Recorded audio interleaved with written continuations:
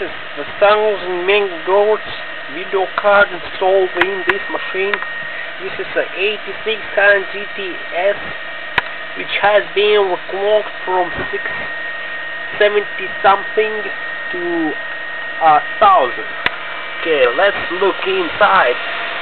I have a have a liquid cooling in there. You see that? This is the liquid cooling that makes the fans makes it possible to run thing.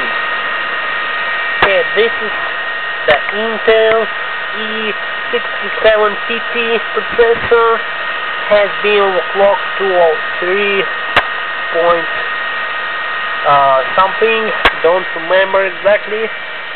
Everything is goddamn overclocked. That must be awesome. Because it is interesting.